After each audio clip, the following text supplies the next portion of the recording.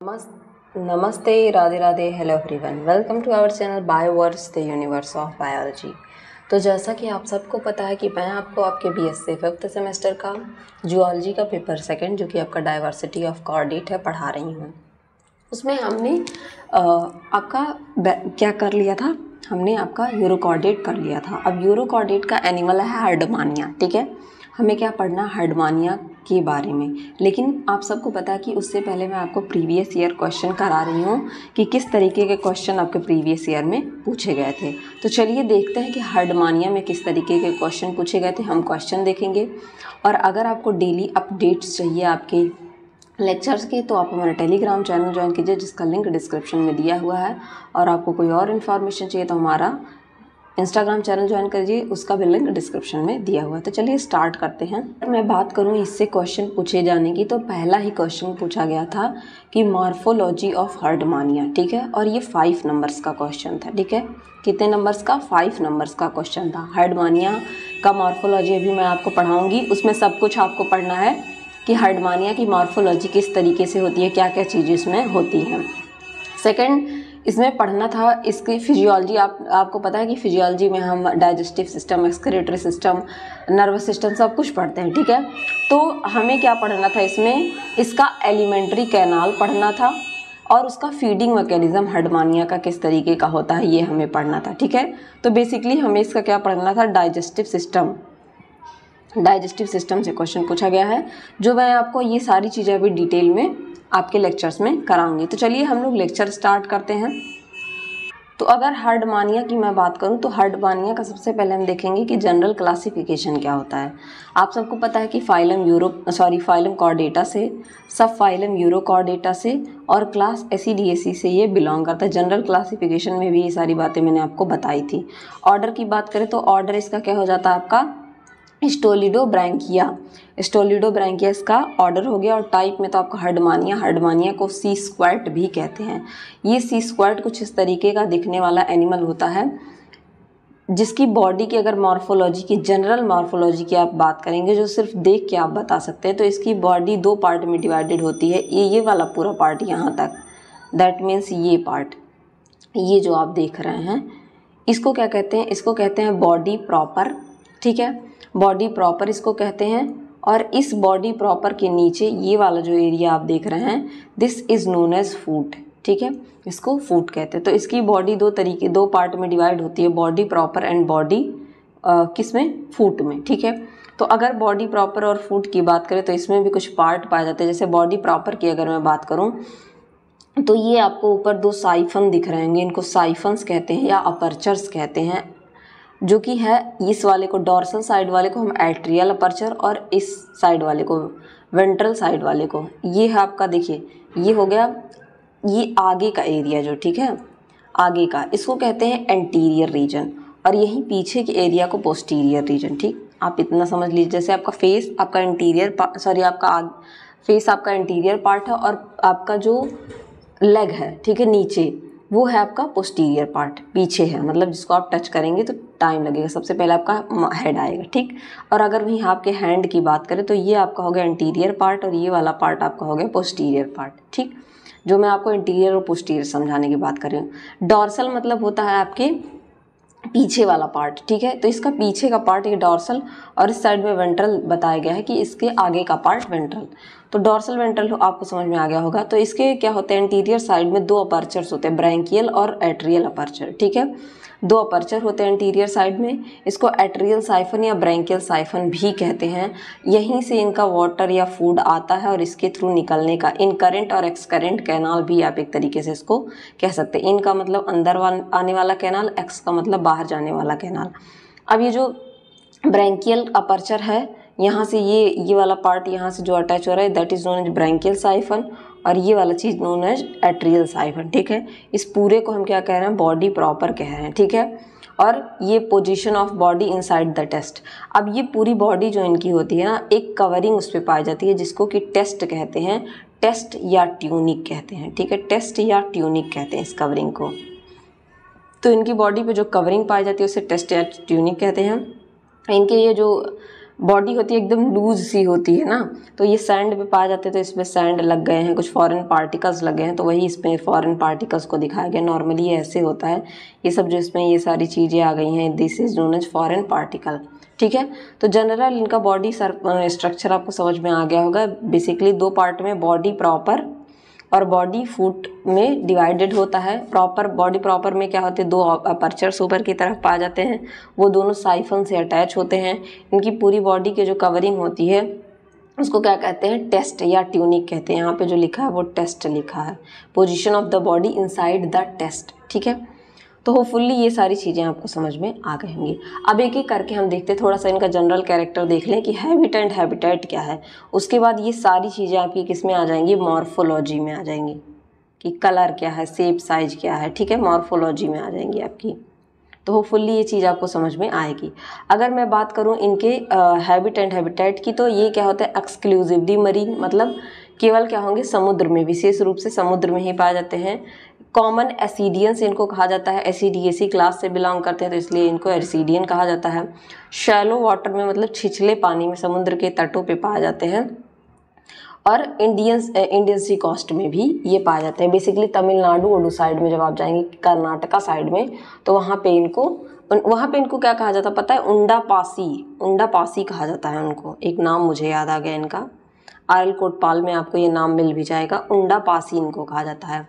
इनको सी स्क्वाट भी कहा जाता है पोटैटो स्क्वाट भी कहा जाता है, ठीक है? सी स्क्वाट क्यों कहा जाता है, अभी आप देखेंगे, क्योंकि इनके स्क्वाट फवारे की तरह, इसमें से ऐसे ऐसे पानी इधर जाएगा और ऐसे ऐसे फवारे की तरह निकलता है। ये पानी इसी वजह से इनको सी स्क्वाट भी कहा जाता है। तो इनके दो नाम आपको पता चल गया सी स्क्वाट या पोटैटो स्क्वाट भी कहते हैं, या उंडा पासी भी इनको कहते हैं, ठीक है? अब इनकी मॉर्फोलॉजी की बात करें तो सेप और साइज़ और कलरेशन की बात करें तो बॉडी लेटरली कंप्रेस्ड होती है मतलब लेटरल साइड से कंप्रेस्ड होगी।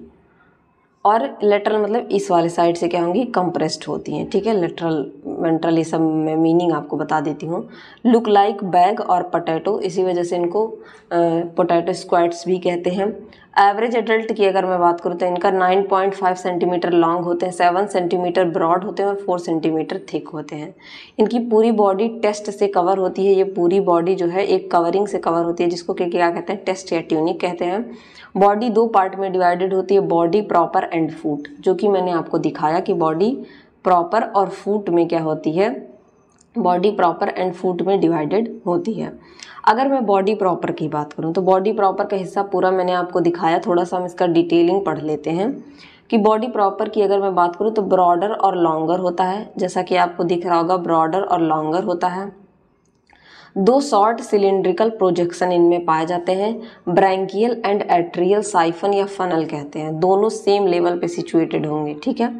दोनों सेम लेवल पे सिचुएटेड होते हैं, जो ब्रैंकियल या ओरल साइफन होता है, यानी कि ब्रैंकियल साइफन या ओरल साइफन ये स्मॉलर होता है और ये टर्मिनल ओपनिंग होता है ब्रैंकियल अपर्चर में या माउथ कहते हैं इसको, या इनकरेंट कैनाल कहते हैं।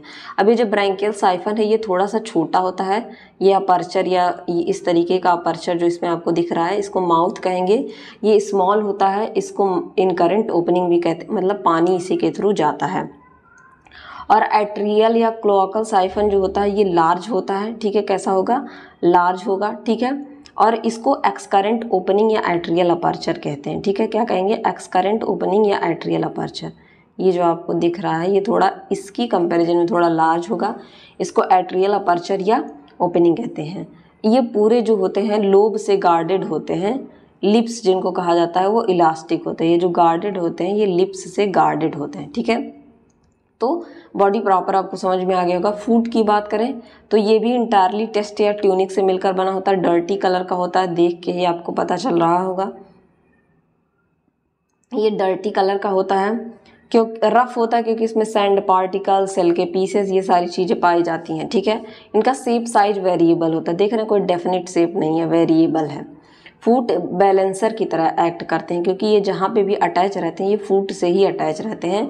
तो ये बॉडी को किसी सबस्ट्रेटम से, किसी चीज़ से अटैच करके रखता है और बैलेंस करके रखता है, स्ट्रेट रखता है। जब ये मतलब डिटैच होगा, मान लीजिए की body straight when body detach with substratum अब ये पहले अटैच था, अब यहाँ से हटा तो इस बॉडी को एकदम स्ट्रेट रखने में ये फूट ही हेल्प करते हैं। जैसे हमारे पैर हमें स्ट्रेट रखने में हेल्प करते हैं, उसी तरीके से इनके भी, ठीक है?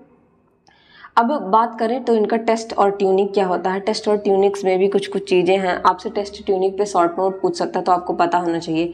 ये प्रोटेक्टिव इस तरीके से कुछ स्ट्रक्चर इसका होता है, ठीक है? ऐसे नॉर्मल नहीं होता है, ठीक है? इसमें ये इस तरीके का स्ट्रक्चर होता है। वेस्कुलर एम्पुला पाए जा रही हैं, ठीक है? टेस्ट वेसल्स पाए जाते हैं, मैट्रिक्स पाई जाती हैं। उनमें माइक्रोस्केलरस और मेगा स्केलरस टाइप के स्पिक्यूल पाए जाते हैं। दो टाइप के स्पिक्यूल्स पाए जाते हैं। एक होता है आपका माइक्रोस्केलरस टाइप और दूसरा होता है मेगा स्केलरस टाइप, ठीक है? उनका स्ट्रक्चर कुछ इस तरीके का होता है। थोड़ा सा डिटेलिंग देखते हैं। तो टेस्ट और ट्यूनिक की बात करें तो ये प्रोटेक्टिव जैकेट या कवरिंग की तरह बॉडी पेन के काम करता है। ये एक्स एसेसरी रेस्पिरेटरी ऑर्गन की तरह काम करता है रिसेप्टर ऑर्गन की तरह भी काम करता है। मतलब रेस्पिरेशन इनका कैसे हो रहा है? जनरल बॉडी सरफेस से हो रहा है। जैसे हम लोगों में हीमोग्लोबिन ब्लड की ज़रूरत पड़ती है तो इनके ब्लड से नहीं होता। अभी आप पढ़ेंगे जब इनका फिजियोलॉजी तो उसमें क्या होगा? इनका सर्कुलेटरी सिस्टम में आप पढ़ेंगे तो इनके ब्लड से नहीं होता ऑक्सीजन का ट्रांसपोर्ट मतलब रेस्पिरेशन वो जनरल बॉडी सरफेस से होगा तो टेस्ट और ट्यूनिक इसलिए भी ज़रूरी होता है। रिसेप्टर की तरह वर्क करते, कोई चीज़ आके अटैच हुई तो उसको रिसेप्ट करते कि हीट है कोल्ड है, ठीक है?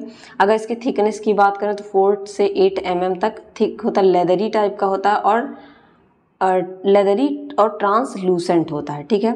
लेदरी होगा और कैसा होगा? ट्रांसलूसेंट ट्रांसलूसेंट का मतलब होता है पारभासी। दैट मीन्स कि हल्का हल्का दिखाई देगा एक दूसरे की तरफ़ से। ट्रांस ऑलमोस्ट ट्रांसपेरेंट होता है यंग स्टेज में। जब ये एकदम यंग वाला स्टेज इसका होगा तो एकदम ट्रांसपेरेंट होगा। जैसे जैसे ही डेवलप होता है तो ये ओपैक हो जाता है। मतलब थिक हो जाता है और ट्रांसलूसेंट बन जाता है। मतलब आभासी बन जाता है हल्का हल्का दिखाई देगा। ठीक है? और टेस्ट जो है उसको कट करेंगे तो सॉफ्ट कार्टिलेज से मिलकर बना होता है, जो कि कई सारी चीज़ों से मिलकर बना होता है। जैसे ये क्लियर जिलेटिनेट मैट्रिक्स से मिलकर बना होता है, जो कि सेल में इम्बेडेड होते हैं। मैट्रिक्स ये पाया जा रहा है, ठीक है? इसी में सेल में ये इम्बेडेड होते हैं। वेरियस टाइप के काप्सकल्स पाए जाएँगे, जैसे हम लोगों में W B C R B C ये सब पाया जाता है, उसी तरीके से कुछ ये काप्सकल्स इसमें पाए जाते हैं। इंटरकैलेटिंग फाइबर्स पाए जाते हैं, ये इस तरीके से फाइबर्स आप देख रहे हैं। इंटरकैलेटिंग फाइबर्स पाए जाते हैं ब्रांचिंग ब्लड वेसल्स आप देख ही रहे हैं ब्लड वेसल्स टेस्ट वेसल्स इस तरीके से ब्लड वेसल्स इनमें पाए जाते हैं और कैलकेरियस स्पिक्यूल पाए जाते हैं। और ये कैलकेरियस स्पिक्यूल क्या होते हैं? दो टाइप के होते हैं मेगा स्केलरस माइक्रो स्केलरस उसमें भी कुछ पिपेट टाइप के सेप के होते हैं, कुछ डिफरेंट डिफरेंट टाइप के ये पाए जाते हैं, इस तरीके से इनमें स्पिक्यूल पाए जाते हैं। अब बात करते हैं इनके बॉडी वॉल की तो बॉडी वॉल जो हर हर्ड मानिए कि उसको मेंटल कहा जाता है। क्या कहा जाता है? मेंटल टेस्ट तो इनकी आउटर कवरिंग हो गई लेकिन उसके अंदर जो बॉडी वॉल पाया जाता है, उसको मेंटल कहा जाता है। ये थिक और मस्कुलर होता है एंटरोडोर्सल रीजन होता है बॉडी का। It is thin non muscular ठीक है? नॉन मस्कुलर होता है transparent in the postero ventral region जो पोस्ट पीछे का और वेंट्रल साइड में, ठीक है? मान लीजिए, पीछे पोस्टीरियर मतलब यहाँ नीचे वाला साइड ऐसे कोई चीज़ है तो यहाँ नीचे वाला साइड और ये वेंट्रल वाला साइड ये क्या होता है इनका? मस्कुलर नॉन नॉन मस्कुलर होता है, वहाँ पे मस्कुलर नहीं होता है। ये एपिडर्मिस मीजन काइम और इनर एपिडर्मिस में डिवाइडेड होता है। ठीक है? तो इस तरीके से इनकी पूरी मॉर्फोलॉजी यहाँ तक इनकी क्या हो गई? पूरी मॉर्फोलॉजी हो गई। अब हम इनकी फिजियोलॉजी और डेवलपमेंट पढ़ेंगे, ठीक है? तो अगर इनके फिजियोलॉजी की मैं बात करूँ तो पहले ही फिजियोलॉजी में हमने डाइजेस्टिव सिस्टम पढ़ना है। डाइजेस्टिव सिस्टम से आपको क्वेश्चन पूछा गया था, हो सकता है इन हार्डमानिया का सर्कुलेटरी सिस्टम भी बहुत इंपॉर्टेंट होता है। तो नेक्स्ट क्वेश्चन आपको इनके सर्कुलेटरी सिस्टम से पूछ ले, ठीक है? तो आपके लिए सारे ही सिस्टम इंपॉर्टेंट्स है और उस इंपॉर्टेंट में भी मोस्ट इंपॉर्टेंट जो होता है वो मैं आपको बता देती हूँ। तो मैंने बताया ना, इनका digestive system neural neural complex neural gland complex इनका इंपॉर्टेंट होता है। इनमें रेट्रोग्रेसिव मेटामॉर्फोसिस पाया जाता है डेवलपमेंट के टाइम में तो वो इंपॉर्टेंट हो सकता है रेट्रोग्रेसिव मेटामॉर्फोसिस से आप आप आपको शॉर्ट नोट पूछ लेगा। तो जितनी भी चीज़ें इंपॉर्टेंट है, मैं आपको बताते चलूँगी। अब फिजियोलॉजी ऑफ़ वर्डमानिया की बात करें तो इनका डाइजेस्टिव सिस्टम होता है, ठीक है? डाइजेस्टिव सिस्टम अब डाइजेस्टिव सिस्टम कुछ इस तरीके का इनका दिखता है, ठीक है? अब डाइजेस्टिव सिस्टम की अगर मैं बात करूँ तो डाइजेस्टिव सिस्टम एलिमेंट्री कैनाल और डाइजेस्टिव ग्लैंड से मिलकर बना है। किससे किससे? Alimentary canal and digestive gland ठीक है? अब एलिमेंट्री कैनाल में पूरा आपका माउथ से लेके ईसोफेगस स्टमक इंटेस्टाइन सब कुछ उसमें आएगा, ठीक है? तो कुछ इस तरीके का इनका क्या दिखता है? Alimentary canal alimentary canal seen from the left side removal of the mantle mantle को रिमूव करके ये लेफ़्ट साइड से आपको दिखाया गया है, ठीक है? ये किस तरह से इनका ब्रैंकियल साइफन या ब्रैंकियल अपर्चर है? यहाँ से क्या होता है? इनका माउथ स्टार्ट होता है सॉरी हाँ यहीं से इनका क्या होता है? माउथ स्टार्ट होता है। फिर इनका देखिए, इस तरीके से फेरिंग्स फेरिंग्स इनका काफ़ी ये, इस तरीके से फेरिंग्स आपको देखने को मिल रहा होगा। ये इनका फेरिंग्स होता है। फेरिंग्स के बीच बीच में ऐसे फेरिंग्स के बीच बीच में स्टिगमेटा पाए जाते हैं। इस तरीके से फेरिंग्स के बीच बीच में स्टिगमेटा हैं। फिर है इनका ईसोफेगस। ईसोफेगस फिर जाके आपका ये यहाँ आ गया। ईसोफेगस ईसोफेगस खुल गया आपके स्टमक में। स्टमक के इधर उधर साइड में इनके क्या पाया है? डाइजेस्टिव ग्लैंड, जिसमें आपका लीवर हो गया। ये लीवर आपके दिख रहे होंगे दो। फिर ये जाके खुल गया इंटेस्टाइन में। और इंटेस्टाइन फाइनली रेक्टम में, रेक्टम से ये एनस में, ठीक है? और यहीं इनके बीच में क्या पाया जा रहा है? इनका गोनड वाला एरिया भी पाया जा रहा है। लेकिन बेसिकली हमको किससे मतलब इनके डाइजेस्टिव सिस्टम से। थोड़ा सा डाइजेस्टिव सिस्टम को मैं ये डायग्राम और क्या कर देती हूँ? इस तरीके से कर देती हूँ। तो अगर आप ये देखेंगे तो इस तरीके से इनका क्या है? यहाँ पे ब्रैंकियल साइफन ब्रैंकियल टेंटिकल से ये माउथ है इनका। माउथ की ओपनिंग किसमें हो रही है? फेरिंग्स में। ये है इस तरीके से वा, ये वाला एरिया। इस तरीके से इसमें लाइनिंग पाई जा रही है। और इस लाइनिंग में भी इस तरह बीच बीच में क्या पाया जा रहा है? स्टिगमेटा पाए जा रहे हैं। अभी आप पढ़ेंगे स्टिगमेटा पाए जाएँगे, ठीक है? और फिर ये जाके ओपन हो रहा है कहाँ पे? ईसोफेगस में। इस तरीके से इनका ईसोफेगस ये इसको ओइसोफेगस भी आप लिख सकते हैं या ईसोफेगस भी लिख सकते हैं, ठीक है? मैं तो इसे ईसोफेगस ही प्रोनाउंस करती हूँ। ठीक है? तो ईसोफेगस में जाके ओपन हो रहा है और इसकी ओपनिंग फिर आके आपके स्टमक में हो रही है। Same as it is pattern follow होता है हमारे भी डाइजेस्टिव सिस्टम का। और यहाँ पे एसेसरी ग्लैंड पाए जा रहे हैं जो कि आपका है लीवर ठीक है? इंटेस्टाइन में इंटेस्टाइन रेक्टम रेक्टम से एनस में और यहाँ से बाहर निकल जाएगा, ठीक है? तो इस तरीके से इनकी क्या होती है सिस्टम होता है। फेरिंग्स इनका काफ़ी बड़ा होता है, उसमें कई सारे जोन पाए जाते हैं। जब यहाँ फेरिंग्स को मैं पढ़ाऊँगी तो यहाँ पे आपको दिखाऊँगी कि फेरिंग्स ये पूरा आपका काफ़ी बड़ा इस तरीके से होता है। तो पहले स्टार्ट करते हैं एलिमेंट्री कैनाल से। तो डाइजेस्टिव ट्रैक्ट हर्डवानिया का जो होता है, कैसा क्वाइल्ड और कंप्लीट होता है, देख रहे हैं इसमें, इस तरीके से क्वाइलिंग पाई जा रही है और कंप्लीट होता है। माउथ से स्टार्ट होकर एनस तक पहुँचता है। कुछ पार्ट हैं इसके, सबसे पहले माउथ से ओपनिंग इसकी कहाँ होती है? Branchial siphon marking the interior end of the body it is guarded by four lobes derived from test आपने देखा इस तरीके से चार लोब से डिराइव्ड था, जो कि किससे बने होते हैं? टेस्ट से डिराइव्ड होते हैं, ठीक है? टेस्ट मैंने बताया उसकी आउटर कवरिंग होती है। ये फिर ओपन होता है किसमें? बक्कल कैविटी में। कहाँ पे? बक्कल कैविटी में, ठीक? बक्कल कैविटी क्या होती है? Mouth leads into collaterally compressed cavity called branchial siphon इसी को बक्कल कैविटी या स्टोमेडियम कहते हैं, ठीक है? ये जो आपका ब्रैंकियल साइफन है ना, जैसे हमारा ये ब्रैंकियल साइफन है, इस तरीके से। इसी को क्या कह रहे हैं? बक्कल कैविटी या स्टोमेडियम कह रहे हैं। स्टोमेडियम जिसको कि अगर मैं अभी यहीं एक छोटा सा कंपैरिजन आपको बता दूँ, जब मैंने आपको क्या पढ़ाया था? जब मैंने आपको पढ़ाया था बेलेनोग्लॉसस ठीक है? तो वहाँ पे मैंने बताया था कि इसी स्टोमेडियम को वहाँ नोटोकॉर्ड मान लिया गया था, जो कि इसी वजह से हेमिकॉर्डोट ट्रू कॉर्डेट नहीं होते हैं, ठीक? इस तरीके से ये ओपन हो गया। तो वही बताई जा रही है कि बैंकेल साइफन क्या है कि बक्कल कैविटी एस्टोमीडियम में ओपन होता है। यहाँ पे स्ट्रॉन्ग ब्रैंकियल अपर स्फिंक्टर पाए जाते हैं। स्फिंक्टर क्या होते हैं? इस तरीके से खुल जाएँगे, बंद हो जाएँगे और इस तरीके से खुल जाएँगे। बंद होकर खुलने का काम करते हैं स्फिंक्टर, ठीक है? जो रेगुलेट करते हैं ओपनिंग ऑफ़ माउथ को, ठीक है? यही मैंने बताया। सर्क, इनका a circulate of highly branch delicate branchial tentacles richly supplied by nerves also found the base of siphon यहाँ पे ना एक क्या होता है? सर्कल पाया जाता है किसका? ब्रैंकियल टेंटिकल्स का इस तरीके से, जो कि नर्व्स के द्वारा रिचली सप्लाइड होते हैं। ठीक है? Free ends of tentacle meet the centre forming short strainer which prevents entry of larger food तो एक तरीके से आप कहते हैं ये सीलियरी फीडर हो सकते हैं। ये क्या होते हैं? ये जो टेंटिकल्स हैं, इस तरीके से ये क्या करते हैं? लार्जर फ़ूड को अंदर नहीं आने देते हैं। ठीक है? यहाँ पे ये लार्जर फ़ूड को अंदर नहीं आने देंगे। ये स्फिंक्टर यहाँ पे ये लगा हुआ है। जब फ़ूड आएगा तो ये ओपन होगा और ये उसी फ़ूड को जाने देगा जो ज़रूरी है। अगर यहाँ लार्जर पार्टिकल्स आ गए ब्रैंकियल टेंटिकल्स इनके नीचे पाए जा रहे हैं, ठीक है? ये देख रहे हैं आप। ये है स्फिंक्टर स्फिंक्टर इस तरीके से ओपन हो जाएगा और इसके अंदर ये टेंटिकल्स हैं इस तरीके से। तो यहाँ पे क्या होगा? जो लार्ज पार्टिकल होंगे वो इस तरीके से ट्रैप हो जाएँगे। लार्ज पार्टिकल यहाँ ट्रैप हो जाएँगे और स्मॉल पार्टिकल्स को यहाँ अंदर आने दिया जाएगा, ठीक है? यही बात यहाँ पे बोली जा रही है। मैं डायग्राम इसीलिए ऐड करती हूँ कि जब आप इसको देखेंगे ना तो आपको बहुत अच्छे तरीके से समझ में आएगा, ठीक?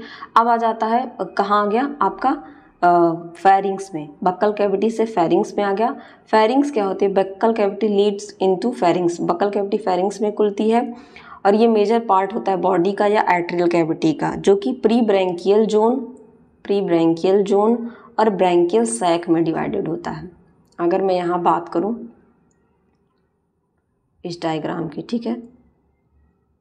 तो ये रहा आपका क्या? एक pharynx, animal cut open the ventral side longitudinally so the internal view of pharynx, ठीक है? इस तरीके से दो पार्ट में ये डिवाइडेड है। ये है आपका, यहाँ पे तो स्फिंक्टर हो गया इस तरीके से, और उसके नीचे टेंटिकल्स। आप देख रहे हैं, ये स्फिंक्टर, उसके नीचे इस तरीके से टेंटिकल्स पाए जा रहे हैं, जो लार्जर फ़ूड को नहीं जाने देते। अब उसके नीचे क्या आ रहा है, आपका फेरिंग्स आ रहा है। फेरिंग्स में ये वाला जोन जो है, इस तरीके से ये डिवाइडेड होता है, आपको दिख रहा होगा, ऐसे ऐसे, उसके बाद ऐसे और ऐसे है, ठीक है? तो ये जो वाला जो जोन है ना, इसको क्या कहते हैं? Pre branchial zone. ये ऊपर वाला जो जोन है, इधर वाला इसको कह रहे हैं प्री ब्रैंकियल जोन ठीक है? और और बचे वाले पार्ट को हम क्या कह रहे हैं? ब्रैंकियल्स सैक ब्रैंकियल सैक कह रहे हैं, जिनके बीच में डॉर्सल लेमिना पाए जाते हैं। यहाँ पे ईसोफेगियल ओपनिंग मतलब आपका ये जाके फिर ईसोफेगस में ओपन होगा। फेरिंग्स जाके कहाँ पे ओपन हो रहा है? ईसोफेगस में ओपन हो रहा है। तो ईसोफेगियल ओपनिंग यहाँ पे इंडस्टाइल रीजन पाया जाता है, ठीक है? इस तरीके से ये पूरे पार्ट इनके पाए जाते हैं। चलिए एक एक करके देखते हैं। सबसे पहले बात करेंगे प्री ब्रैंकियल जोन की। तो प्री ब्रैंकियल जोन होता क्यों है? इसको आप समझेंगे, बड़ा देख के इसको मतलब आप डरिएगा। आप चाहे तो इसका स्क्रीनशॉट ले लीजिए और फिर समझिए, ठीक है? मैं समझा देती हूँ। तो ये क्या होते हैं? स्मॉल इंटीरियर रीजन होते हैं मतलब इंटीरियर मतलब आगे वाले रीजन में पाए जाते हैं। विदाउट फोल्ड्स इनमें फोल्ड्स नहीं होते। सीलिया एंड स्टिगमेटा और गिल्सलिट ये सेपरेटेड होते हैं ब्रैंकियल सैक से दो circular thin parallel seriated ridge के द्वारा, जिसको कि एंटीरियर और पोस्टीरियर पेरीफेरेंजियल बैंड कहते हैं, ठीक है? तो इनमें कोई फोल्ड सीलिया स्टिग्मेटा गिल्सलिट ये सब नहीं पाए जाते हैं। दो सर्कुलर पैरेलल रिज मतलब रिज का मतलब होता है एक तरीके से गड्ढे के से क्या होंगे? सेपरेटेड होंगे, जिनको पोस्टीरियर पेरीफेरेंजियल बैंड कहा जाता है। और ये बंद करते हैं एक नैरो पेरीफेरेंजियल ग्रुप को। जो एंटीरियर वाला मतलब आगे वाला पेरीफेरेंजियल बैंड होता है, वो कंप्लीट रिंग होता है और mid dorsally in front of lies smaller dorsal tubercle made of two spiral coils और ये डॉर्सल ट्यूबरिकल के आगे पाया जाता है और जो पोस्टीरियर पेरीफेरेंजियल बैंड होता है, वो इंटरप्टेड होता है बीच के साइड से और डॉर्सल लेमिला और मिड वेंट्रली एंडोस्टाइल के द्वारा। तो यहाँ पे ये स्ट्रक्चर मैंने आपको दिखाया था, ठीक है? कि ये वाला जो जोन है, इसी की बात की जा रही है। तो ये वाला एंडोस्टाइल जो आपका पीछे वाला पार्ट है पोस्टीरियर वाला एंडोस्टाइल के द्वारा और डॉर्सल ट्यूबरकल के द्वारा क्या होता है? इंटरप्टेड होता है। लेकिन जो आगे वाला, अब इसी में दो दो रीज़न है। तो आगे वाले रीजन में कोई फोल्डिंग वोल्डिंग नहीं पाई जाती है। और ये आपके पीछे वाले में क्या होते हैं? ये एंडोस्टाइल रीजन से और किससे? आपके डॉर्सल ट्यूबरिकल से इंटरप्टेड होता है। यही बात यहाँ पे बोली गई है। ठीक है? ब्रैंकियल सैक की अगर मैं बात करूँ तो ये लार्जर पोस्टीरियर रीजन है फेरिंग्स का। इसको ब्रैंकियल बैस्केट भी कहते हैं। इसकी वॉल जो होती है, इसकी वॉल पे क्या पाया जाता है? गिल्सलिट और स्टिग्मेटा पाया जाते हैं। गिल्सलिट इनकी वॉल पे क्या पाया जाते हैं? गिल्सलिट और स्टिग्मेटा पाया जाते हैं, ठीक है? इनकी जो वॉल होगी, इन पे गिल्सलिट और स्टिग्मेटा यहाँ पे मैंने आपको दिखाया था। गिल्सलिट और स्टिग्मेटा इनके वॉल पे पाए जाते हैं, जो बीच बीच में मैंने आपको दिखाया था, ठीक है? और ये गिल्सलिट और स्टिगमेटा क्या काम करते हैं? The epithelial lining of stigmata bears long cilia जिनको कि लेटरल सीलिया कहते हैं। अब स्टिगमेटा है, उस पर लार्ज लार्ज क्या पाया जा रहे हैं? सीलिया पाए जा रहे हैं, ठीक है? अब ये सीलिया क्या काम करते हैं? Pharyngeal wall is divided into stigmatic rectangular area by longitudinal and transverse bar अभी इस लॉन्गिट्यूडनल और ट्रांसवर्स बार के द्वारा क्या होते हैं? ये डिवाइडेड होते हैं, जिसके जिसमें फाइव टू सिक्स स्टिग्मेटा पाए जाते हैं, ठीक है? ये बार जो होते हैं हाईली वेस्कुलर होते हैं और इनमें ब्लड वेसल्स पाए जाते हैं। सम अदर स्ट्रक्चर और भी ब्रांकियल साइकिल से पाए जाते हैं, जो डाइजेशन में हेल्प करते हैं। जैसे, अगर मैं बात करूँ ट्रेबिकुली पाया जाता है। तो ट्रेबिकुली क्या होता है? एक हॉलो स्ट्रैंड होता है। ब्लड वेसल इसमें पाया जाता है। और इन, इसमें nine to six branchial folds पाए जाते हैं, जो इनके इंक्रीज करते हैं सरफेस एरिया को, ताकि कितना भी फ़ूड आए स्टमक उसमें ईसोफेगस में, वो कंटेन हो सके। डॉर्सल लेमिना क्या होता है? थिन फ्लैप होता है फ्लैक लाइक स्ट्रक्चर फोल्ड होती है इसमें। और ये क्या करते हैं? इनका काम क्या होता है? ये form a short groove for conducting food एक नली बनाते हैं जिससे फ़ूड को कंडक्ट करें। एंडोस्टाइल एंडोस्टाइल पे आपसे शॉर्ट नोट पूछ सकता है। ये सेलो मिड वेंट्रल ग्रूव होता है, मैंने एंडोस्टाइल आपको दिखाया। फ्लोर ऑफ़ यहाँ पे आपको एंडोस्टाइल मैंने दिखाया। फ्लोर ऑफ़ ब्लैंकेट सैक पे पाया जाता है। और ये जो एंडोस्टाइल है ना, ये होमोलॉगस होता है। मतलब सिमिलैरिटी शो करता है होमोलॉगस होता है। हाइपोफेरेंजियल ग्रुप सिफेलोकॉर्डेट का और थायराइड ग्लैंड वर्टिब्रेट्स का। हम लोग का जो थायराइड ग्लैंड है, उसकी तरह ये उसकी तरह दिखता है होमोलॉगस होता है उसका। ऐसा माना जाता है कि यहीं से ओरिजिन है सेम ओरिजिन है इन सब की। और जो हाइपोफेरेंजियल ग्रुप होता है सिफेलोकॉर्डेट का, उनका, ठीक है? अब ये बात हो गई आपकी किसकी? फेरिंग्स की। फेरिंग्स के बाद आ जाता है आपका ईसोफेगस फेरिंग्स में प्री ब्रैंकियल जो ब्रैंकियल सैक पढ़ा आपने, उसके बाद से उसमें ट्रेबिकुली डॉर्सल लेमिना और एंडोस्टाइल पढ़ा, तीन पार्ट अब आ जाता है ईसोफेगस ये शॉर्ट और कर्व होता है ईसोफेगस आपको मैंने दिखाया इस तरीके शॉर्ट कर्व होता है थिक वॉल होती है इसकी। चार लॉन्गिट्यूडनल ग्रुप आ जाते हैं जो ब्रैंकियल सैक से स्टमक को कनेक्ट करते हैं। फिर ये जाके ओपन हो जाएगा स्टमक में और इसमें टमक में क्या होते हैं? स्फिंक्टर लगे होते हैं दोनों एंड पे। स्मूथ इनर लाइनिंग होती है इनकी। स्फिंक्टर लगेंगे जो उनकी ओपनिंग और क्लोजिंग में हेल्प करते हैं। फिर ये जाके खुलता है इंटेस्टाइन में। इंटेस्टाइन इस तरीके से आपने देखा यू सेप्ड का होता है। ठीक है? प्रॉक्सिमल वेंट्रल और descending loop distal dorsal ascending loop united anteriorly अब इसमें जो भी इसका पार्ट है, जैसे proximal ventral descending loop ascending loop ये सब आपने नाम सुन रखा होगा जब आपने अपनी फिजियोलॉजी पढ़ी होगी। और intestinal loop thus found enclose the left gonad यहाँ पे इनका लेफ़्ट गोनेड इस तरीके से यहीं पे इनक्लोज होता है, ठीक है? इस तरीके के ये स्ट्रक्चर होते हैं। उसके बाद आ जाता है आपका यहाँ नीचे रेक्टम रेक्टम क्या होता है? लीड्स द रेक्टम आप, अब आपका इंटेस्टाइन रेक्टम में खुलेगा और इसमें इंटरनली सीलिया किस तरीके से लाइनिंग पाई जाती है, ये कर्व होता है, कर्व होता है एट्रियम या क्लोकल में जाके नीचे खुलेगा और एनस में। और एनस गार्डेड होता है फोर लिप से, जैसा कि मैंने आपको बताया था, आपका जो ब्रैंकियल साइफ एट्रियल साइफन है, उसी में जाके ये ओपन होगा। तो एट्रियम या क्लोआका जो है, जाके एट्रियल अपर्चर में खुल जाएगा। इस तरीके से था, आपका एट्रियल अपर्चर यहाँ से एंटर किया और यहाँ से आपका खुल जाएगा। ठीक है? ये आपका कंप्लीट हो जाता है क्या? डाइजेस्टिव सिस्टम ऑफ़ हार्डमानिया तो होपफुली आपको इजी लगा होगा कि मैंने जिस वे में आपको पढ़ाने की कोशिश की है, आपको समझ में आ गया होगा कि alimentary canal mouth buccal cavity pharynx oesophagus उसके बाद इंटेस्टाइन इंटेस्टाइन के बाद स्टमक स्टमक के बाद फिर जाके ये खुल जाता है आपके रेक्टम में रेक्टम से एनस और एनस से फाइनली क्लोआका थ्रू क्लोआका के थ्रू एक्सक्रेशन हो जाता है। इस तरीके से इनका फीडिंग होता है। फीडिंग के लिए स्फिंक्टर लगे होते हैं, खुलता है, उसके नीचे टेंटिकल्स लगे होते हैं, जो कि लार्जर फ़ूड को आने देते हैं, ठीक है? तो एक तरीके से क्या कहते हैं सेलेक्टिव फीडर हो सकते हैं सेलेक्ट एक सेलेक्टिव फ़ूड को ही आने देते हैं, ठीक? नर्वस सिस्टम की अगर बात करें तो इनका जो नर्वस सिस्टम होता है एडल्ट का वो बहुत ज़्यादा सिंपल होता है और डिजनरेट होता है, ठीक है? ये पिंकिश कलर के इलांगेटेड फोर एम लॉन्ग होते हैं सॉलिड नर्व गैंग्लिया जिसको कि सो कॉल्ड ब्रेन भी कहा जाता है सेरिब्रल गैंग्लिया भी कहा जाता है। ये इनके मेंटल में डॉर्सल साइड में दोनों साइफन के बीच में इम्बेडेड होता है। मेंटल में ये रहा मेंटल डॉर्सल साइड में, ठीक है, ये डॉर्सल साइड दोनों साइफन के बीच में क्या होता है, इस तरीके से इम्बेडेड होता है। जो मोस्ट ट्यूनिकेट्स होते हैं, ठीक है it present dorsal to neural gland but in Herdmania it lies just below the neural gland बहुत सारे ट्यूनिकेट्स में क्या होते हैं, न्यूरल ग्लैंड के डॉर्सल में, लेकिन हार्डमानिया में ये उसके नीचे पाए जाते हैं, ठीक है? ब्रेन जो है बाईपोलर और मल्टीपोलर नर्व से बाईपोलर मतलब इस तरीके से दो पोल पाए जाएँ और मल्टीपोलर नर्व से बने होते हैं, ठीक है?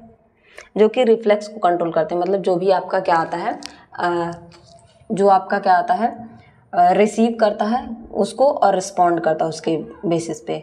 From the brain, three nerves emerge out anteriorly to innervate and branchial siphon and two nerves posteriorly to atrial siphon. Brain से तीन नर्व निकलती है इंटीरियरली ब्रैंकियल साइफन को जाती है एक और दो जो होती है एट्रियल साइफन को जाती है। तो कुछ इस तरीके के ये दिखते हैं ठीक है? ये आपका ब्रैंकियल अपर्चर है ये एट्रियल अपर्चर है ये इनका नर्व गैंगलिया है और यहाँ से नर्व्स इस तरीके से निकल रही हैं ठीक है? इस तरीके से इनकी नर्व्स निकल रही हैं। ये इंटीरियर नर्व फाइबर है ये पोस्टीरियर नर्व फाइबर है ठीक है? तो यहाँ पे यही चीज़ बताई गई है कि किस तरीके से ये वर्क करते हैं। हिंदी में भी वही पूरी बात यहाँ से हम मैंने एक्सप्लेन की है, ठीक है? न्यूरल कॉम्प्लेक्स जो होता है इनका, वो तीन स्ट्रक्चर से मिलकर बना होता है। न्यूरल ग्लैंड नर्व गैंग्लिया या ब्रेन डार्सल ट्यूबरकल जिनको कि कलेक्टिवली क्या कहा जाता है? न्यूरल कॉम्प्लेक्स कहा जाता है। तो ये तीन स्ट्रक्चर से मिलकर बना होता है, ठीक है? हडमारियन का न्यूरल कॉम्प्लेक्स जो होता है नर्व फाइबर न्यूरल ग्लैंड और न्यूरल गैंग्लिया या डॉर्सल ट्यूबरिकल से मिलकर बना होता है। इस तरीके से इनका डॉर्सल ट्यूबरिकल ठीक? और इससे इस तरीके से ये मिलकर बने होते हैं। तो इनका नर्वस सिस्टम काफ़ी सिंपल होता है। किसमें? जो इनका अडल्ट होता है, ठीक? अगर मैं आगे मूव करूँ तो फिर आ जाता है आपका सर्कुलेटरी सिस्टम इनका सर्कुलेटरी सिस्टम भी काफ़ी इंपॉर्टेंट है। सर्कुलेटरी सिस्टम इनका किससे मिलकर बना होता है? हार्ट और पेरिकार्डियम से मिलकर बना होता है। हार्ट को एंड पेरिकार्डियम ब्लड वेसल और ब्लड से। इनका सर्कुलेटरी सिस्टम क्लोज्ड टाइप का होता है। आप सबको पता दो तरीके का होता है circulatory system open type and closed type open type में क्या होता है कि यहाँ पे कोई आर्टरीज वेसल्स ये सब नहीं पाई जाती हैं। ब्लड का ऐसे फ्लो होता है पूरी बॉडी में, उसी में सारे ऑर्गन इस तरीके से डिप होंगे। लेकिन हमारे में क्या होता है, इस तरीके से आर्टरीज वेन्स ये निकलती हैं, जो जहाँ ब्लड की ज़रूरत है उसको वहाँ पहुँचाती हैं, ठीक है? अब इनके हार्ट की मैं बात करूँ तो कुछ इस तरीके का इनका हार्ट होता है। ये आपका बीच में हार्ट हो गया, ठीक है? यहाँ पे यहाँ पे बीच में हार्ट हो गया, ठीक है? कनेक्टिव टिश्यू फ्लैप से ये अटैच होते हैं। यहाँ पे ये आपका पेरिकार्डियम हो गया। ये यहाँ पे पेरिकार्डियम हो गया अंदर, ठीक है? ये आपको पेरिकार्डियम दिख रहा है। उसमें पेरिकार्डियल कैविटीज़ पाए जाते हैं। वेंट्रल आयोटा से हार्ट अटैच होता है। ब्रैंकियल कार्डियक वेसल पाए जा रहे हैं। सब एंडोस्ट्राइलर यहाँ पे वेसल पाया जा रहा है। तो इस तरीके से इनका हार्ट होता है, ठीक है? यहाँ पे भी आप देख सकते हैं। हार्डमानिया का हार्ट का टीएस दिखाया गया है। कि ल्यूमेन ऑफ़ हार्ट यहाँ पे है, मसल लेयर है, ये रहा पेरिकार्डियम कनेक्टिव फ्लैप यहाँ से अटैच है, ये पेरिकार्डियल वॉल्व है और यहाँ पर ब्लड साइन साइनसेस है इनके बीच में इस तरीके से आपको दिख रहे होंगे। तो इस तरीके से इनका ब्लड पाया जाता है और ये इनका सर्कुलेटरी सिस्टम इनका काफ़ी इंपॉर्टेंट है, ठीक है? तो हो सकता है तो नेक्स्ट आपका इससे क्वेश्चन पूछ ले। तो हार्ट की अगर मैं बात करूँ तो हार्ट क्या होता है इनका? नॉन कॉन्ट्रेक्टाइल होता है। जैसे हमारा हार्ट क्या होता है? कॉन्ट्रेक्टाइल इसमें रिदमिक हमारे हार्ट में क्या होती है? रिदम होती है। वो बीट करता है कॉन्ट्रेक्टाइल होता है। लेकिन इनका हार्ट कॉन्ट्रेक्टाइल नहीं होता। इलांगेटेड होता है मतलब इस तरीके का स्ट्रक्चर तो इसी को इलांगेटेड कहते हैं। ट्रांसपेरेंट होता है। दिख सकता है आपको seven point zero centimetre long और थ्री एम एम वाइडर होता है। राइट गोनेड के नीचे ये बिलो में क्या करता है? ऑब्लिकली रन करता है। ये गोनड है अगर तो उसके नीचे में यहाँ पे ये इस तरीके से रन करेगा, ठीक है?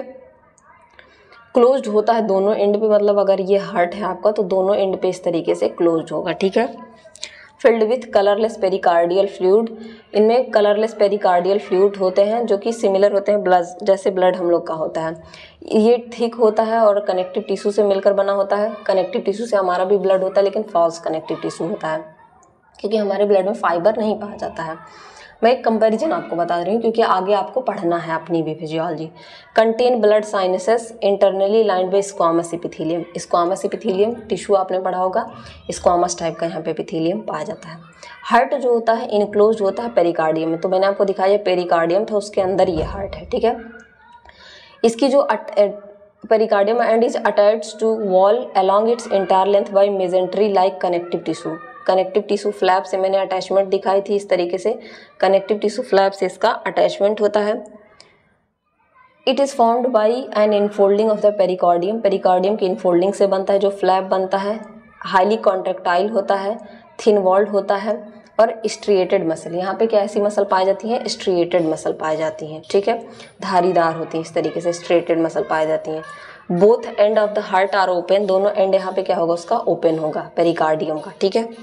यहाँ पे कोई वॉल्व नहीं पाया जाता है।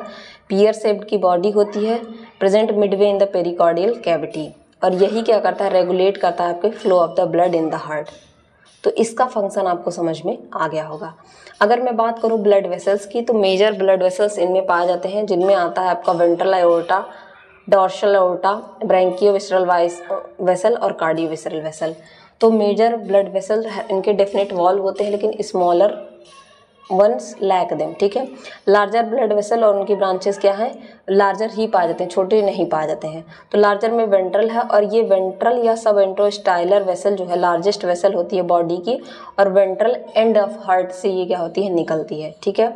डॉर्सल अरोटा की बात करें स्टाउट वेसल होती हैं ये, ठीक है? मोटा होता है स्टाउट होता है मिड डॉर्सली ये क्या होता है डॉर्सल वॉल या ब्रैंकल सैक के डॉर्सल वॉल से ये निकलती हैं, ठीक है? ब्रैंकियल सैक आपको पता होगा, मैंने बताया है अभी आगे। ब्रैंकियो विसरल वेसल की बात करें तो ये पोस्टीरियर पार्ट से निकलता है डॉर्सल अओर्टा के, और दो आगे जाके इस तरीके से डॉर्सल अओर्टा से निकलेगा, आगे जाके दो में डिवाइडेड हो जाता है, ठीक है? Cardio visceral vessel it arise from dorsal end of the heart and supplies blood to distance organ sorry ये क्या होता है? डॉर्सल एंड ऑफ़ हर्ट से निकलता है और कई ऑर्गन को ये क्या करता है? इस तरीके से हार्ट ब्लड सप्लाई करता है। तो ये इनका पार्ट हो गया। अगर इनके ब्लड की बात करें तो ये स्लाइटली रेडिस कलर के होते हैं ट्रांसपेरेंट होते हैं हाइपरटोनिक होते हैं सी वाटर पिगमेंट इनमें पाए जाते हैं, ठीक है? और क्या होते हैं, ये रेस्पिरेशन में टेक नहीं लेते हैं। पार्ट इन रेस्पिरेशन ठीक है? Does not take part in respiration तो ये रेस्पिरेशन में पार्ट नहीं लेते हैं। तो मैंने आपको बताया था कि ऊपर इनके टेस्ट या ट्यूनिक से रेस्पिरेशन होता है, इसीलिए बताया था। तो कुछ इस तरीके का इनका क्या होता है हार्ट वाला एरिया दिखता है। ये रहा वेंट्रल आयोर्टा यहाँ पे, ठीक है? ये टेस्ट वेसल हो गया वेंट्रल टेस्ट हो गया, ठीक है? इस तरीके से इनका हार्ट रीजन पाया जाता है फेरिंग्स इस तरीके से यहाँ पे ये पाए जाते हैं, ठीक है? अगर सर कोर्स ऑफ़ सर्कुलेशन की बात करें, अगर हार्ट में ब्लड है, ठीक है? वो ब्लड का सर्कुलेशन कैसे होता है? इनका course of circulation circulatory system के पास पूछ लेता है। तो आप सबको पता है कि इनमें क्या होता है? No valve in heart valve तो कोई इनमें होती नहीं हार्ट में। तो flow of blood is maintain by peristaltic wave ठीक है? पेरिस्टाइलिस मूवमेंट होता है। जैसे हमारे फ़ूड को जाने के लिए पेरिस्टाइटिक मूवमेंट होता है, इस तरीके से, इस तरीके से मूवमेंट होगा। इसके थ्रू फ़ूड क्या होता है? हम लोग का अंदर आ जाता है। हमारे, आपको पता होगा कि हमारे स्टमक में पेरिस्टाइलिस मूवमेंट होता है, जिसके थ्रू फ़ूड क्या होता है? आगे पास होता है। तो वही यहाँ पे क्या होता है? इनमें, इनके हार्ट में होता है। इसीलिए इनका सर्कुलेटरी सिस्टम इंपॉर्टेंट है। कई सारी डिफरेंट काइंड ऑफ़ चीज़ें होती हैं। और जब ब्लड को क्या होता है, अपना डायरेक्शन चेंज करना होता है, तब रिवर रिवर्स पेरिस्टेलिसिस होता है रेगुलर इंटरवल के बाद। जब भी ब्लड को डायरेक्शन चेंज करना होगा रिवर्स पेरिस्टेलिसिस होगा, ठीक है? इनमें जो है आर्टरीज और वेंस जो होती हैं, अपना रोल चेंज कर लेती हैं। जब ब्लड का फ्लो इनको क्या होता है रिवर्स करना होता है। मतलब एक डायरेक्शन में जा रही हैं तो वही आर्टरी दूसरी तरीके से काम करेगी। जब दूसरे डायरेक्शन में जा रही हैं तो वही आर्टरी दूसरे तरीके से काम करेगी। अभी आप देखेंगे, ठीक है? यहाँ पे दो तरीके का क्या होता है फ्लो होता है, ठीक? तो अगर जब हार्ट का जो है हार्ट बीट जो है वेंट्रोडॉर्सली मतलब वेंट्रल और डॉर्सल रीजन में क्या होता है पंप करता है ऑक्सीजनेटल ब्लड को तो ये कार्डियो विसरल वेसल में जाता है। कहाँ जाता है? कार्डियो विसरल वेसल में। जब वेंट्रोडॉर्सली पंप्स ऑक्सीजनेटेड ब्लड मतलब ऑक्सीजन जिसमें ज़्यादा मात्रा में होगा, वैसा ब्लड तो ये कार्डियो विसरल वेसल में जाएगा। Which is distributed to the various part of body और यहाँ से ये various part of the body को चला जाएगा। और जो डी ऑक्सीजनेटेड ब्लड है, वो विसरा से कलेक्ट होगा ब्रैंकियो विसरल वेसल में, यहीं पे। ये देखिए, इस तरीके से, इस तरीके का लगा हुआ है। और ये कहाँ होगा? Pass passes through dorsal aorta dorsal aorta के थ्रू इसको यहाँ पे पास कर दिया जाएगा। डॉर्सल आयोटा के थ्रू पास करके finally reach in the transverse branchial vessels of for oxygenation और फिर इसको क्या किया जाएगा? ट्रांसवर्स ब्रैंकियल वेसल में डाल दिया जाएगा। फिर से क्या करने के लिए इसके? ऑक्सीजनेशन के लिए। ठीक? वहीं पे जब रिवर्सल फ़ेज़ होगा तो डीऑक्सीजनेटेड ब्लड को कहाँ पे कलेक्ट किया जाएगा? कार्डियो विसरल वेसल में। अभी तक क्या था कि यहाँ पे जब जब ऑक्सीजनेटेड था तो उसको कहाँ पे कलेक्ट किया जा रहा था? कार्डियो विसरल वेसल में। अब यहाँ पे डीऑक्सीजनेटेड को फिर से कार्डियो विसरल वेसल में क्या किया जा रहा है? कलेक्ट किया जा रहा है। और विसरा के थ्रू इसको वेंट्रल आयोटा में, अभी तक क्या था डॉर्सल आयोटा में भेजा जा रहा था, अब वेंट्रल आयोटा में चला जाता है और and is distributed into transverse branchial pharyngeal subtentacular and vessel test vessel branchial peripharyngeal region में सब टेंट्रिकुलर रीजन में टेस्ट वेसल में इसको भेज दिया जाता है। The blood now gets oxygenated अब जब ब्लड ऑक्सीजनेटेड हो जाएगा तो उसको कलेक्ट कर लिया जाएगा डॉर्सल आयोटा में, ठीक है? उसको कलेक्ट कर लिया जाएगा यहाँ पे डॉर्सल आयोटा में, ठीक है? डॉर्सल आयोटा में इसको कलेक्ट कर लिया जाएगा। और डिस्ट्रीब्यूट कर दिया जाएगा ब्रैंकियो विसरल वेसल में। और यहाँ पे क्या किया जाएगा? ब्रैंकियो विसरल वेसल में यहाँ पे डिस्ट्रीब्यूट कर दिया जाएगा, ठीक है? और डीऑक्सीजनेटेड ब्लड जो है विसरा से कलेक्ट कर लिया जाएगा कार्डियो विसरल वेसल में और उसको फिर से हार्ट के पास रिसाइकल होने के लिए भेज दिया जाएगा। अब ऑक्सीजनेटेड वाले ब्लड को यहाँ पे कलेक्ट कर लिया जाएगा और उसको फिर से हार्ट के पास भेज दिया जाएगा। प्रोसेस होने के लिए। तो इस तरीके से इनकी प्रोसेसिंग होती है। अब आपसे कार्डियक साइकिल पूछेगा कोर्स ऑफ़ सर्कुलेशन तो आपको इतना लिखना पड़ेगा। नहीं तो आपको नंबर नहीं नहीं मिलेगा। आपने देखा ऊपर वो दस नंबर के थे। रिप्रोडक्टिव सिस्टम की बात करें तो हर्माफ्रोडाइट होते हैं मतलब मेल और फीमेल एक ही बॉडी में पाए जाते हैं। प्रोटोगाइनस होते हैं। मतलब इनमें फीमेल पहले मेच्योर होती है। प्रोटो का मतलब firstly mature gynous self fertilization होता है, खुद से ही फर्टिलाइजेशन होगा। गोनट की बात करें तो यहाँ पे दो लार्ज गोनट पाए जाते हैं। इम्बेडेड होते हैं राइट मेंटल में राइट गोनट जस्ट पैरेलल होता है डॉर्सल टू पेरिकार्डियम के। अभी पेरिकार्डियम में आपको हर टाइम बताया, उसके डॉर्सल में होता है। जबकि लेफ़्ट गोनट जो होता है इंटेस्टाइनल लूप में पाया जाता है और हर गोनट के पास, यहाँ पे ईच अलग हो, ई, हर गोनट के पास दो गोनोडक्ट ओविडक्ट स्पर्मेटिक डक्ट होते हैं, जो कि सेंट्रल एक्सेस के अलॉन्ग रन करते हैं। टेस्टिकुलर रीजन की बात करें तो एक ही में पाया जा रहा है तो ये क्लोजली पैक्ड स्पर्मेटिक सीका होते हैं जर्मिनल एपिथाइलियम के द्वारा। लाइंड होते हैं, इनमें स्पर्मेटोगोनियम स्पर्मेटोसाइट और स्पर्मेटोजोआ पाया जाता है, ठीक है? इस तरीके से। ये रहा oviduct oviduct oviducal aperture oviduct ovarian ductule इसमें पाया जा रहा है ओवेरियन लोब्स पाया जा रहे हैं। ये टेस्टिस का लोब हो गया, इस पर स्मर्मेटिक डक्ट इस तरीके से एक ही बॉडी में दोनों पाए जा रहे हैं, ठीक है? आपको दिख रहा होगा एक ही बॉडी में दोनों पाए जा रहे हैं, इसी वजह से हर्माफ्रोडाइट होते हैं। अब इनके डेवलपमेंट की मैं बात करूँ तो डेवलपमेंट हार्डमानिया का एक यूनिक है। इस वजह से यहाँ से क्वेश्चन पूछे जाने के ज़्यादा चांसेस हैं कि इनमें रेट्रोग्रेसिव मेटामॉर्फोसिस होता है। एक होता है मेटामॉर्फोसिस ठीक है? मेटामॉर्फोसिस में आपको कई बार बता चुकी हूँ कि जो आपका मान लीजिए क्या है? जैसे आपका लार्वा है किसका? मेढक का, जिसको कि टेडपोल लार्वा अब ये किसमें कन्वर्ट हो? आपके फ्रॉग में, इस तरीके से फ्रॉग में ये कन्वर्ट हो, ठीक है? तो फ्रॉग में एक एडवांस कैरेक्टर पाया जाता है, इसका नोटोकार्ड नर्व कॉर्ड में पाया जाता है तो इसको मेटामॉर्फोसिस कह रहे हैं। लेकिन यहाँ पे क्या होगा लार्वा पाया जाएगा, उसको भी टेडपोल लार्वा एसिडियन लार्वा कहते हैं। लेकिन वो क्या होगा? ये एडवांस होगा, इसमें नर्व कार्ड नोटो कार्ड सब कुछ पाया जाएगा। लेकिन जब ये चेंज हो रहा है तो इस तरीके से बैग लाइक सी स्क्वाट मैंने आपको दिखाया और उसमें आपको कुछ नहीं, उसमें आप, आपने कहीं पे पढ़ा कि उसमें notochord nerve cord chordate के कैरेक्टर कोई पाए जा रहे थे? नहीं। इसी वजह से इनको यूरो कार्डेट कहा जाता है क्योंकि इनके टेल के, जो टेल होता है लार्वा का टेल जो होता है उसमें इनका नोटोकॉर्ड इस तरीके से पाया जाता है। एडल्ट में आपने कहीं नोटोकॉर्ड पढ़ा नहीं और इस तरीके के मेटामॉर्फोसिस को रेट्रोग्रेसिव मेटामॉर्फोसिस कहते हैं, ठीक है? तो रेट्रोग्रेसिव मेटामॉर्फोसिस आपको समझ में आ गया होगा। डेवलपमेंट ऑफ़ हर्डमानिया की बात करें तो रेट्रोग्रेसिव मेटामॉर्फोसिस होता है जिसमें highly developed tadpole larva most degenerate and sedentary adult में मतलब मोस्ट डीजेनरेट। प्रतिगामी काया प्लट में अत्यधिक विकसित टेडपोल लार्वा सबसे गतिहीन और मतलब तुच्छ मतलब लेस डेवलप्ड किसमें गुजर एडल्ट में कन्वर्ट होता है। इसको क्या कहते हैं हम? रेट्रोग्रेसिव मेटामॉर्फोसिस अब थोड़ा सा हम लोग डेवलपमेंट देख लेते हैं। तो फर्टिलाइजेशन इनका कैसा होता है? एक्सटर्नल होता है मतलब वाटर में होगा, दोनों अपना प्रोटोगाइनस है तो मतलब क्या होगा? पहले इसका फीमेल अपना ओवा रिलीज़ कर देगी, बाद में स्पर्म पानी में इस तरीके से दोनों आएँगे स्पर्म एंड ओवा। और दोनों क्या करेंगे? अपना फर्टिलाइजेशन का प्रोसेस करते हैं, ठीक है? इनका क्या होता है? इंट्री ऑफ़ स्पर्म ये आपका ओवा है, इसमें क्या होगा? स्पर्म क्या करेगा? एंट्री करेगा। मूवमेंट करेगा। इनके साइटोप्लाज्म का फर्टिलाइज्ड एग और जाइगोट बन जाएगा, जो कि मोजैक टाइप का होता है। मोजैक मतलब प्रिजम्पटिव एरिया पाए जाते हैं, जिनका प्रेडिक्टेबल फ्यूचर होगा। ये जो बनेगा मोजैक टाइप का होगा कि पता ही रहेगा कि ये वाला एरिया आई बनेगा, ये वाला एरिया हैंड बनेगा। ये सारी चीज़ें डिसाइडेड होती हैं। अब इनका एम्ब्रियोनिक और लार्वल डेवलपमेंट होता है। तो अब क्या हो गया? जाइगोट बन गया, ठीक है? जाइगोट बन गया। जाइगोट बन गया। जाइगोट के बाद इनमें क्या होता है? क्लीवेज या सेगमेंटेशन होता है। ठीक है? हाफ़ आवर आधे घंटे बाद फर्टिलाइजेशन के इनमें क्लीवेज होगा और वो होले ब्लास्टिक मतलब कंप्लीट होलो ब्लास्टिक मतलब पूरा ये एग है ना? फर्टिलाइज्ड ये है, ये पूरा डिवाइड होगा। ठीक है? इस तरीके से पूरा इसका डिवीज़न होगा। सम वॉट कभी कभी अनइक्वल और डिटर्मिनेट टाइप का हो सकता है। फ्लेट जो है ब्लास्टोमियर का प्री डिटरमाइंड होता है। जो यहाँ पे ब्लास्टोमियर बनेगा, इसका फेट डिसाइडेड होता है कि कौन सा एरिया क्या बनेगा। इसी को कहते हैं। ठीक है? क्लीवेज स्टार्ट होगा इरेगुलर टाइप का होगा, अब टू सेल स्टेज बनेगा, ठीक है?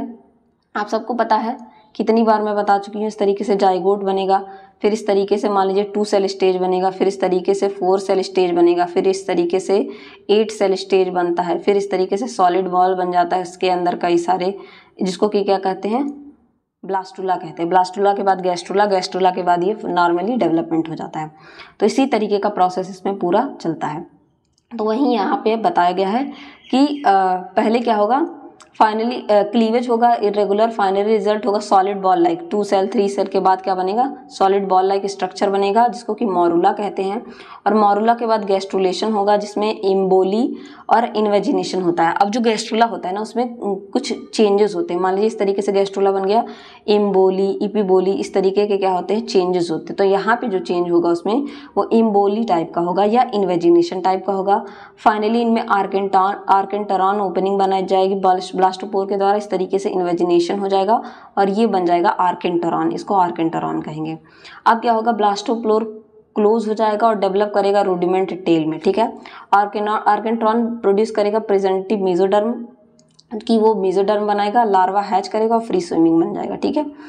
और इनमें जो लार्वा पाया जाता है कि उसको क्या कहते हैं? टैडपोल लार्वा कहते हैं, ठीक?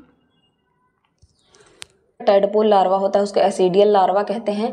ये स्मॉल टाइप का होता है टेडपोल 10 से 12 घंटे बाद बनता है फर्टिलाइजेशन के ट्रांसपेरेंट होता है।